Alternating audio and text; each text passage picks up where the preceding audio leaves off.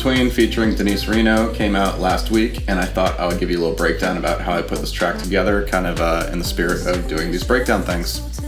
So, I got a lot of questions uh, the last time I did one of these for Tempe, and the one thing I forgot to do was show you which was on what was on my master bus, and I promise you, it's really, it's very unexciting. The only thing I have that's active is this slate. Uh, it's basically it's basically a SSL kind of compressor, like a SSL bus compressor, but it is supposed to be modeled after an SSL compressor with a Neve transformer, something like that. Um, this is my favorite bus compressor. I use this on basically every track, and it's always on my master. Um, I don't do any actual mastering in my mix sessions. That's usually a different process for me. But um, this really is barely doing anything at all. All it's doing is catching a very a little peak every now and then and my settings are the thresholds at zero practically. Um, I like a 10 millisecond attack, and I like a 300 millisecond release. That's just my own. I it's called ML init. It's just my personal preset I made for the thing, and this is what I use on basically every mix. But if I play the track, uh, you're gonna hear that it's really a lot of times it's not even pushing it at all. It's just slightly tickling the meter just a little bit and in moments where uh, there's a build or something, it just catches the tiniest little peaks.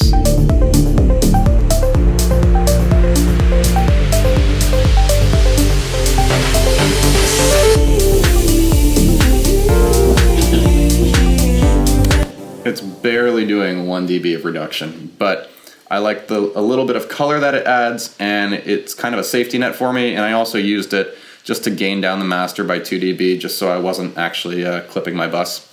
So that's the only thing on the master. Um, other than that, I sometimes I will have a couple limiters at the end just if I want to uh, kind of preview what a, a fake master is going to sound like. And for that, I always use the, uh, the DMG Audio Limitless and also the Newfangled Audio Elevate and I usually use them in conjunction. To be honest, uh, I like I don't like pushing a limiter too hard, so I'd rather do a little bit with one and then a little bit more with another. So between the two, the DMG is doing about it's pushing 3 dB, and this is all the Eventide or the newfangled Eventide. They're twins. Um, that's also just adding another 3 dB, and together it's louder.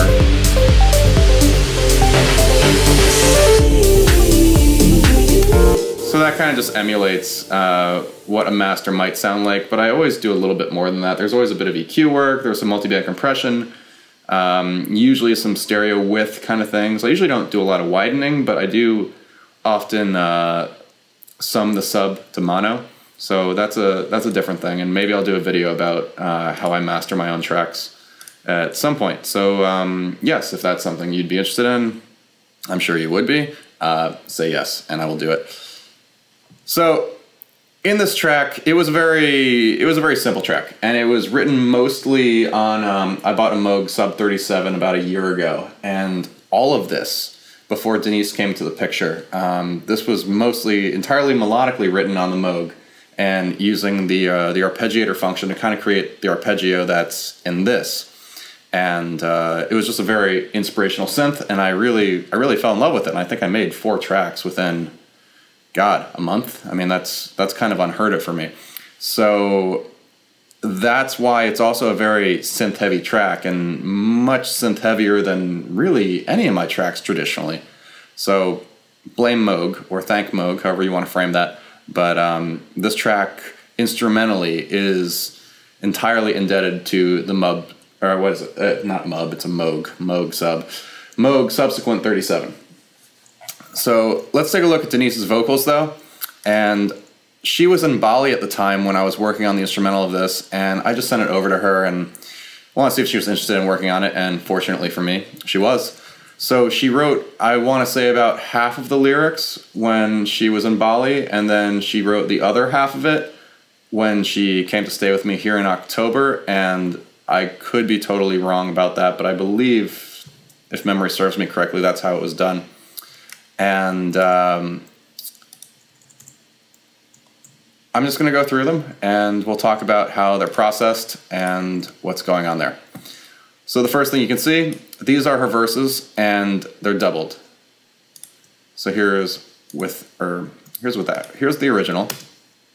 or the main lead, I should say. Felt just like real life, and all I believed was in my head. And here's with the double, which it's using the same exact processing as the lead, but I pulled it down about 9 dB, and it just thickens it out a little bit.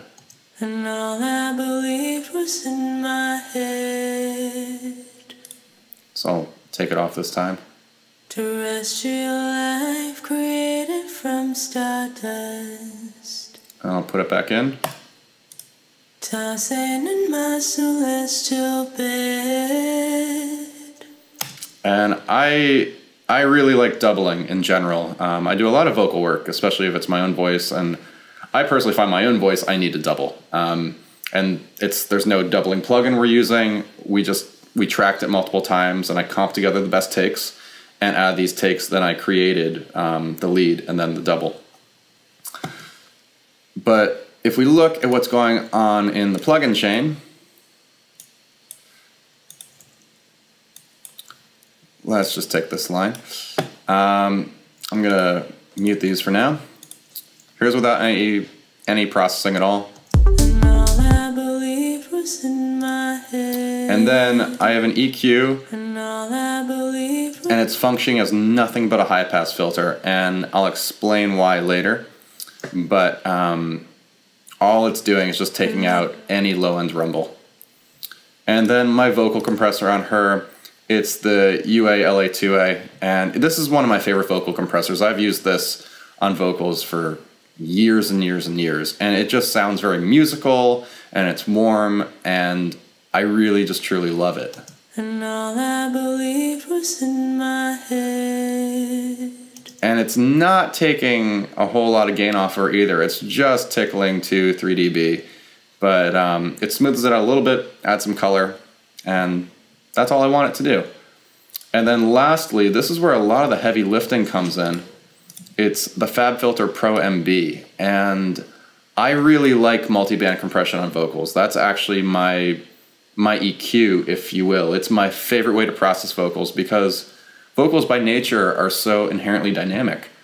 And I find if you try to do everything with EQ cuts, you often end up with a very um, possibly anemic sounding vocal because you're cutting out parts that don't need to be cut out of certain words and vocals are just hard. So I find a really a dynamic processor like a multi-band compressor is really effective for me for the way I treat vocals. And the way I've basically carved it out is I've created different bands for different ranges of her voice, and uh, they're all acting independently depending on you know the the inflections of her tone, her timbre, and altogether it really smooths out a vocal performance.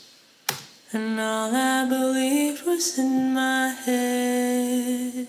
And you can see the one that's working the hardest is this low mid thing, and it's sitting between it's 151 hertz to 600.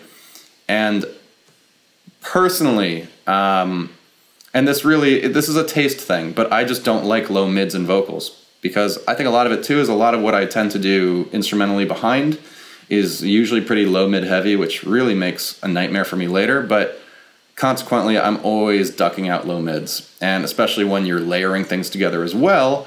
Then if there's low mids in both of your you know your lead and your double, or if you have multiple doubles, then you're gonna get all this buildup in that low mid frequency range.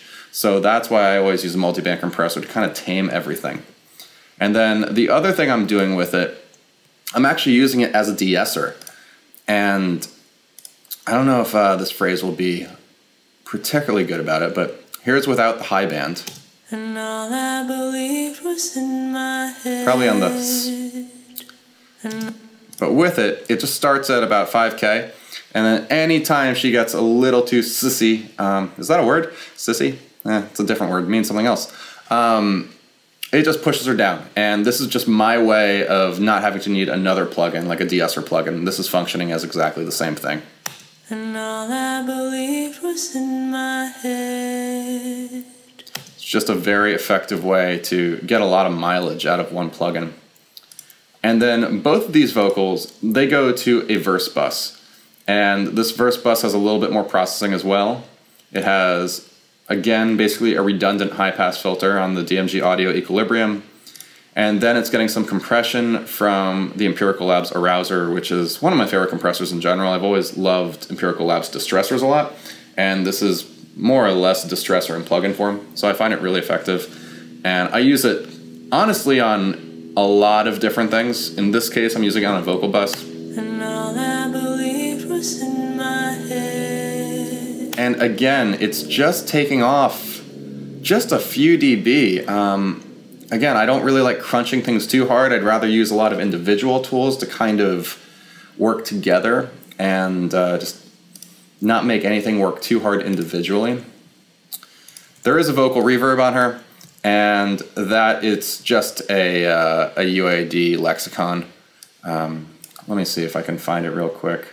Voxverb, that would be it. And all I believed was in my head. It's just a short three second reverb. Uh, it's not too loud in the mix in the verse, but I, I've always liked this reverb a lot, and this has been the vocal reverb I've used on countless vocalists over the years. It just sounds good to me. It sounds pretty true to actual lexicon, um, UAD or UA in general. They're they're fantastic. So this is my go-to vocal reverb uh, a lot of the times, and in this case, here it is. And then the other uh, the other big vocal part for her is the chorus section. And this is where the vocals get a lot bigger. There's a lot of automation, and I'll explain what that is in a second. Soloed all together, sounds like this. I see in your eyes a million different lives hidden in the space between. So the first thing you might notice are what are all these little automation dips right here? And that's more de-essing. On top of having the same plugin chain, more or less that I had on the above vocals, where it's the same Equilibrium, LA2A, Pro MB. They're, again, it's that thing when you have a lot of frequencies building up with multiple layers, because now there are two doubles, and there's one hard center, and then there's one left and hard right. So anything that is pokey, and if it's the same in each vocal take, that's going to get amplified and then compressed together, and that's just, we don't want that. It's going to be too much. So what this is doing, this is actually more de-essing. And anytime there's an S, I just ducked it down just a few dB. Uh, in this case, it was four. In this case over here, it's two. It depends entirely on the word. I mean, there is, it's whatever sounds good, and you have to be careful not to overdo it because it's very easy to, and then you listen later in the car, and your person sounds like they can't enunciate at all. So be gentle, but it is very effective because without it, it sounds like this. Lives hidden in the space between. And like this, in the space, that, it, it drives me nuts. So that's why I have these little ducks. Lives hidden in the space between. Just smooths it out a little bit. And then I've basically gone and I've done that across everything. Um, because these vocals, I time corrected all of them. I used VocAlign once I actually got the main one in time just because it's really fast and it's really efficient. Um, so I just grouped the vocals together. And then the minute I do one thing on one, it, I guess it's not anymore, but um, if I do automation on anything, it'll do it across all three. And it's just a very quick and easy way just to kind of speed up my workflow. And also, when you're doing a lot of little automation ducks and you have to do it across three or four separate tracks, yeah, that's to help you a lot. And then underneath that, this is actually one of my favorite parts because it's kind of hidden. It's a harmonizer.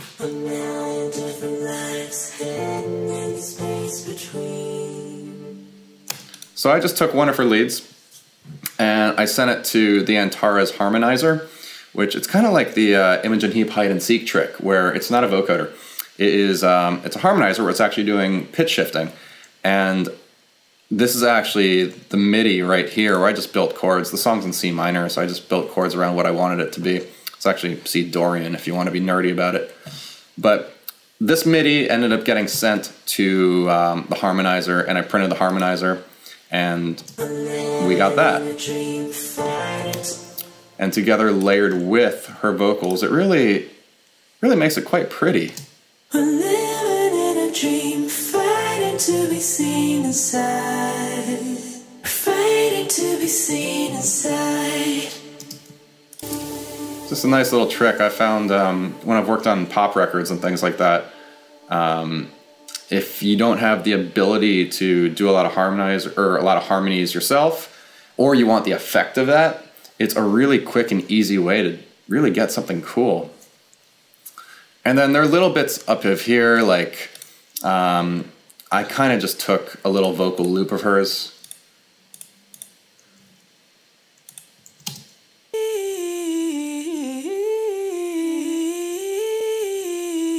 There's even a little pop in there, but once you cover it with all the delays and reverbs, you don't hear it anymore.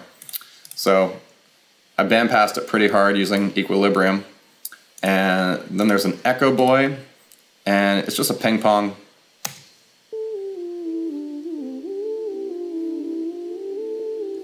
Actually, let's go to a part that isn't too uh, filtered down.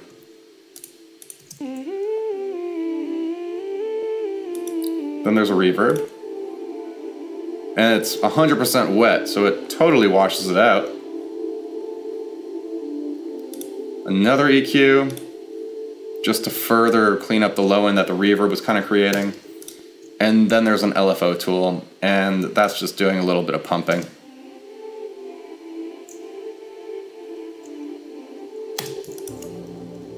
And that gets layered with everything else. And that is, for the most part, that is the vocals.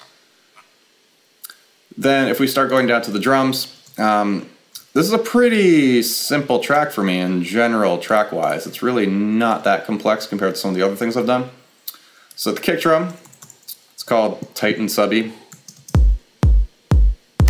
Sounds like that. And it originally was a little bit different, just slightly. Um, this is the original version of it, which almost sounds identical, but uh, I want to fatten it just a little bit. So I pulled up the uh, the newfangled Elevate, and I just added 2 dB. But it really just fattens out the whole kick just a little bit and it rounds it out. And even if you take the waveform and you say you took this and you compared it to the other uh, let's make them the same size. You can see that the processed one, it's much more, it's squared off. I mean, it's really just all sub. Whereas you can see a little bit more pitch decay or amplitude decay. I'm sorry on the uh, on the original, but um, and in general, Elevate is a really handy plugin. I use it a lot just to make kicks a lot bigger and it's very CPU intensive. So I just print it and then I make it inactive and I move on and I don't think about it ever again. So that's our kick. And then I have another kick layered underneath it. And you're gonna see a few times, I kind of stole some of my own samples from other tracks. This is called uh, Patchwork Hertz Donut Kick.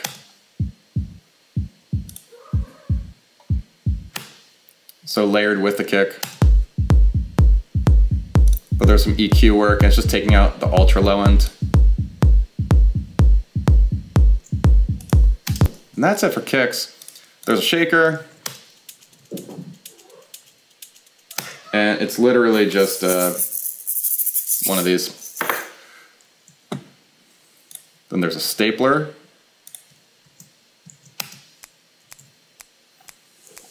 And fun story. It's that. This little little red stapler that uh, Milton from Office Space would go nuts to get his hands on, but he can't because now I have it and he can't have it. But that actually that functions as a hi-hat. I mean, it's it is kind of a cool little sound.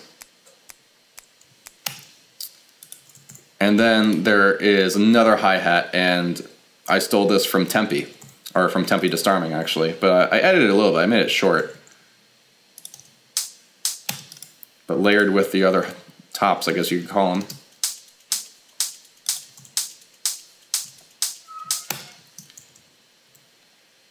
If we go further down, I mean, that's mostly it for quite a while. As the track evolves, you get a 909 hat.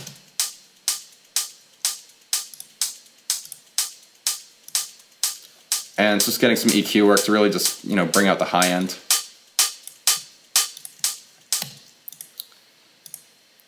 And then there's a break, or a rim shot from a break.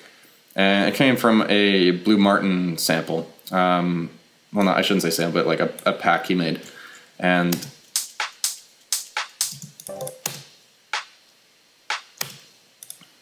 and there's a fair amount of EQ work on that as well.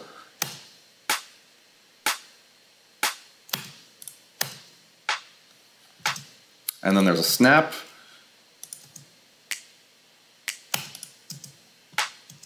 And then there's a snare, and this snare came directly out of a machine drum, uh, which is uh, this guy right there. And that's a cat. And it's really resonant, and um, I kind of made it like that, and then I wanted to bring out the resonance even higher. So I basically found the resonant frequency, which was this guy,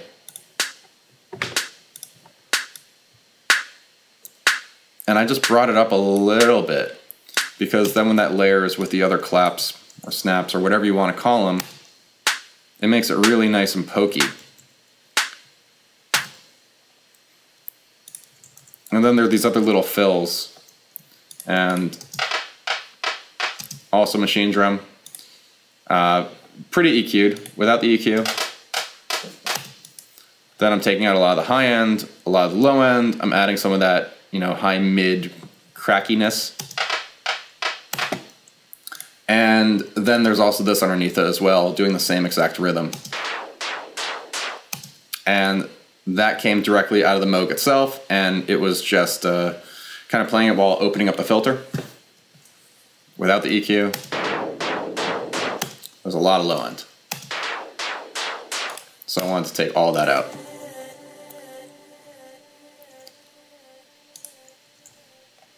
And the only other percussion that eventually gets added in, just a couple hi-hats, I call them live hi-hats. One sounds like this, it's pan to the left. One sounds like that, it's pan to the right.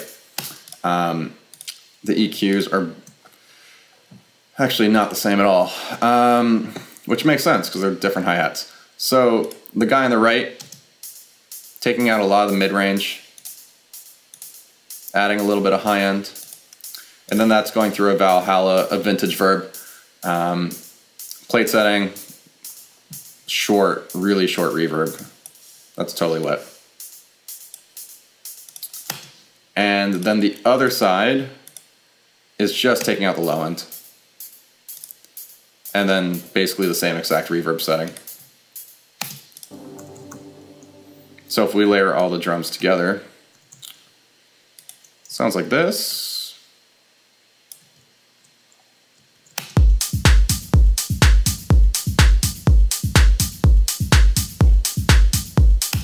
That's it. Um, they're not even getting bus to a drum bus. Uh, I just didn't do it because I just didn't. Um, there isn't a lot going on, so they're all just going to like straight to the master.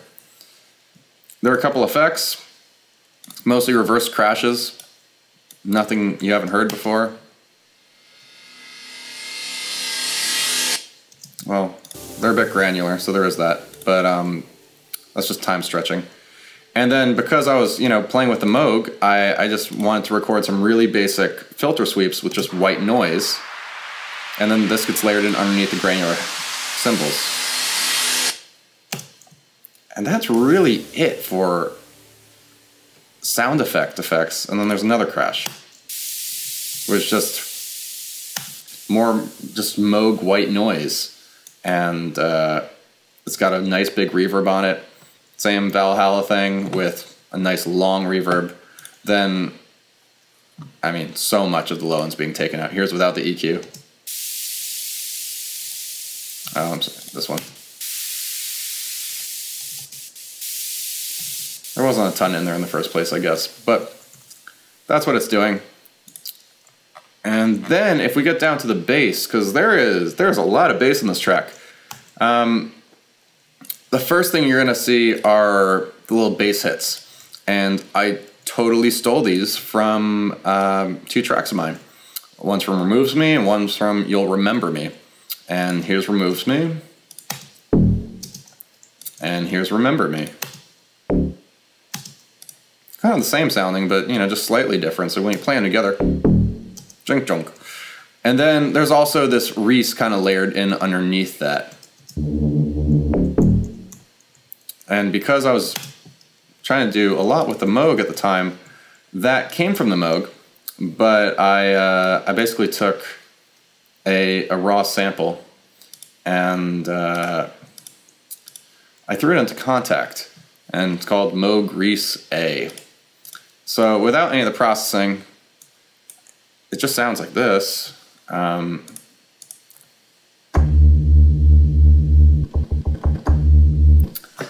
but then uh, one of the ways I like to do Reese's a lot is I like the unison mode in Kontakt, and then uh, I like legatos, and I do like a fair amount of glide, so you can kind of do like the drum bassy.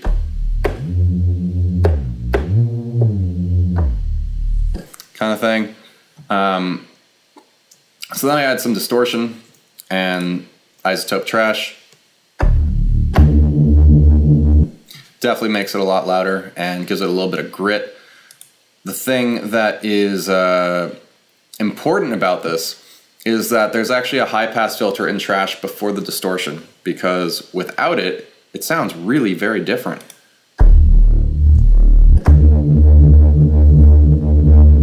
With the filter before it,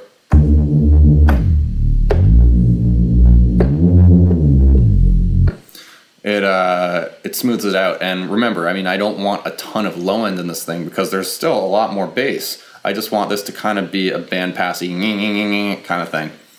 And then there's another EQ underneath it just to get rid of anything underneath 110.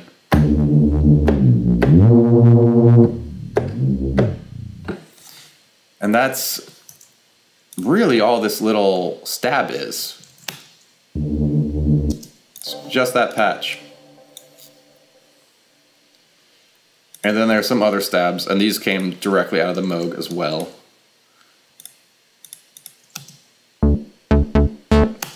And it's just tuning fifths, taking a root, taking the second oscillator, putting up seven steps up. Um, sawtooth waves, because why not? Then, same thing like always, there's a high pass filter taking a lot out. Then there is a filter that gets used uh, really purely for automation. And then uh, another reverb and it's just another one of like the Valhalla vintage verbs in a more vintagey setting. And that's all it's doing. Now this is where all the sub really comes from. And you have this very low bass.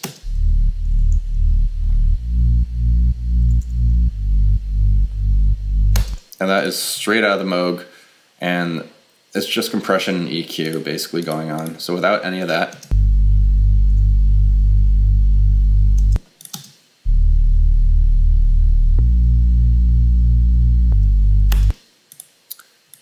Then I'm just taking out a little bit more of the low end because it was really rumbly. Then I'm using that Arousor, the Empirical Labs plugin again. And not taking too much off, but just smoothing it a little bit. And then I'm using LFO tool just to do some very clean pumping against the kick. And then there's a version of that as well that it's a fifth.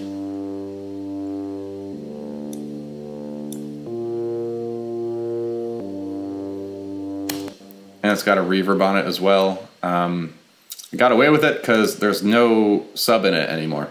But layered with the sub, you get this.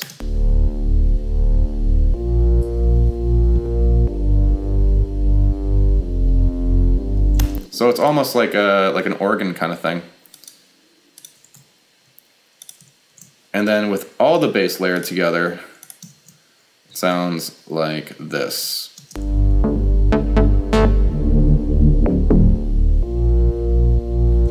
And a lot of the hits, they kind of just dance around each other.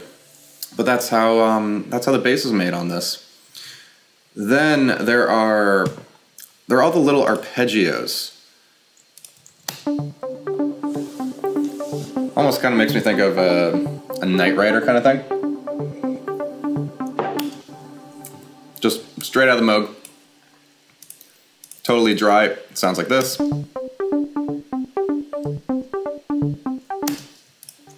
Then it's got a ping pong. Then an Eventide Blackhole.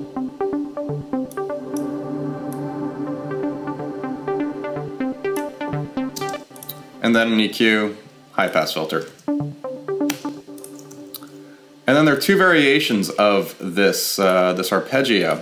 So there's that one, and then this is actually the playful one.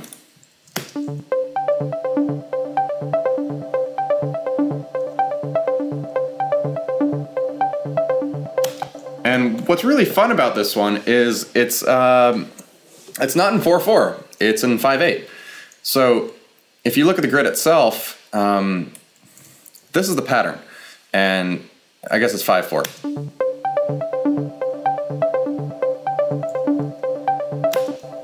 So when you take that and you put it over, uh, let's take our kick drum. Uh, actually, you know what? Let's take a bit where towards the end we can do it.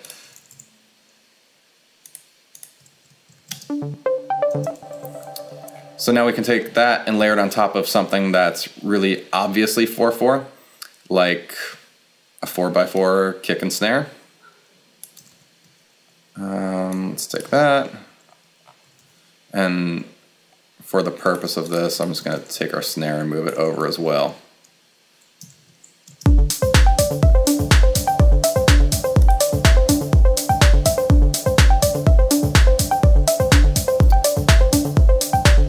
If you pay attention, the start of that arpeggio is completely offset. It's from the rest of the beat.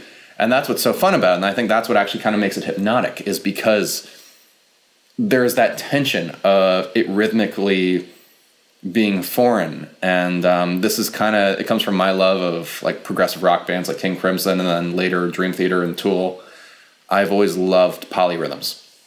Um, so this is something I try to kind of incorporate in a fun in a fun way. And in dance music, it's really effective. Um, I mean, Deadmau5 has done this quite a bit as well because it is very entrancing if you think about or yeah if it is entrancing because um, you kind of get lost in the space and like you know where where is the beat falling and i, I really find that uh, very very effective and I found just to kind of really make it obvious that this was, you know, in an odd type signature, there's a little break, and that's where the arpeggio completely just stays in 5-4. And there's nothing else going on in the track.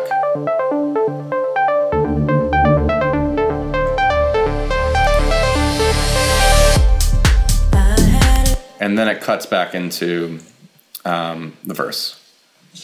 And then the final part of this track that um, the reason I did this is because the rest of the track was so highly synthetic already.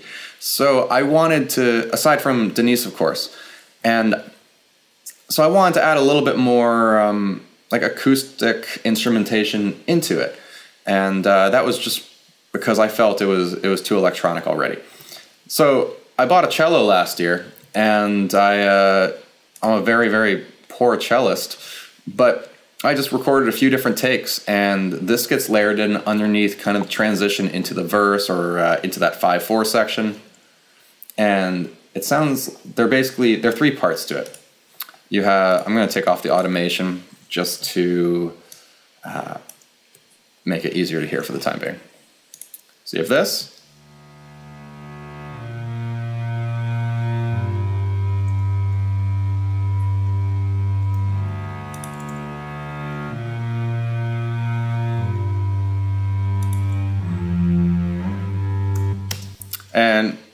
Tracked twice, panned left and right, just like I would if I were doing guitars. Same exact thing. There's a fifth right above it.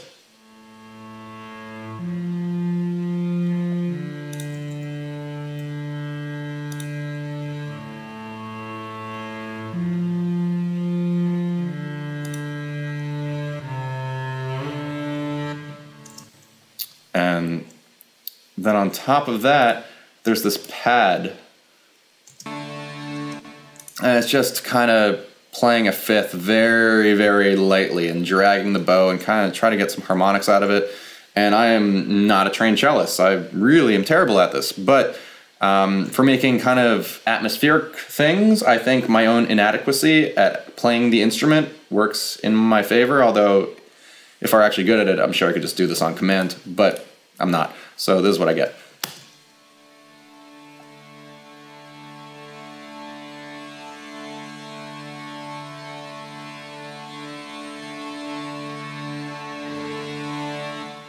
And that gets layered then with the other parts.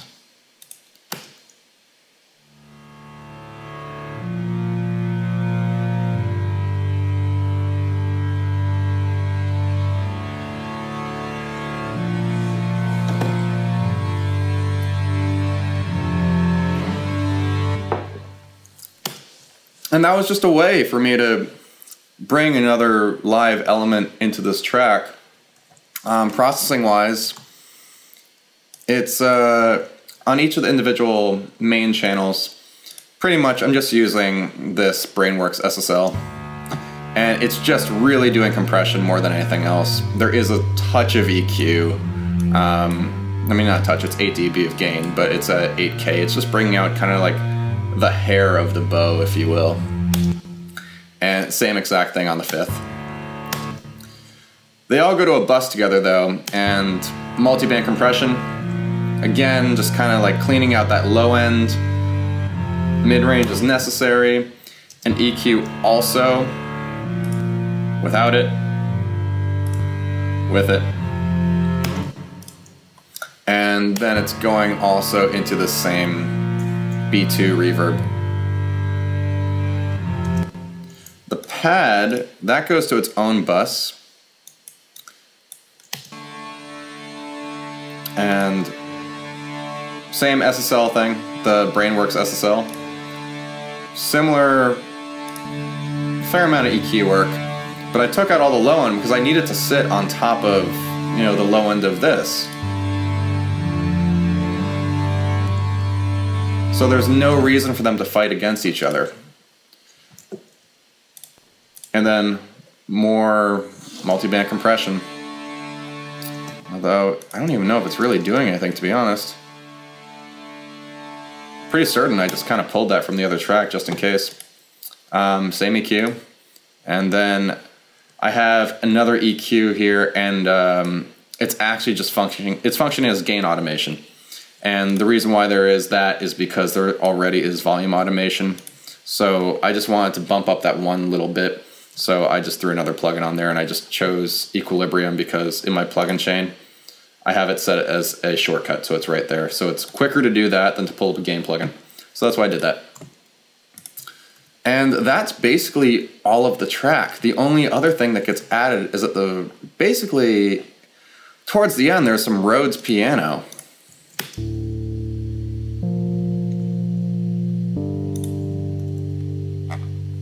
And it's kind of nice if you layer it in with the cellos.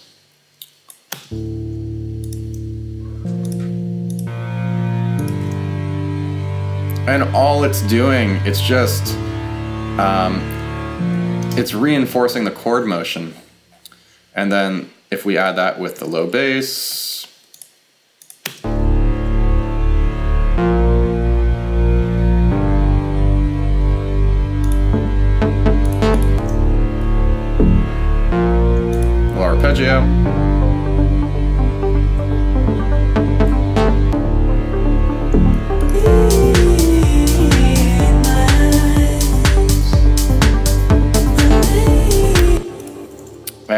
that is entirely the space between. It is, it's a very radio friendly track and it's a simple track for that reason. So hopefully this gave you some insight into how it's put together. And um, really a huge thank you to Deniz, who this track would not be in its final form as it is now had it not been for her and you know her talent. She's an absolutely incredible singer and writer. So this track and myself are very very indebted to her, and that is it. So I hope you enjoy this. If you haven't heard the record yet It is out right now. It's on mau5trap. It came out uh, last week. So go check it out, and I will leave a link to it at the end of this video, or I guess underneath the description, whatever. And uh, enjoy. See ya.